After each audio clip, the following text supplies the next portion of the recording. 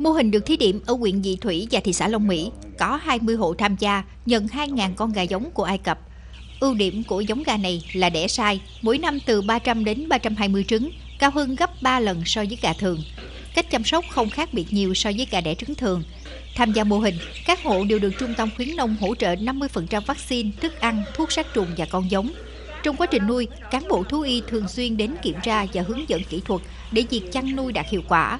Nuôi gà đẻ trứng an toàn sinh học với kỳ vọng nâng chất lượng gà đẻ và trứng thành phẩm, từng bước hình thành chuỗi liên kết đầu ra và truy xuất nguồn gốc rõ ràng, giúp nâng cao thu nhập cho người dân.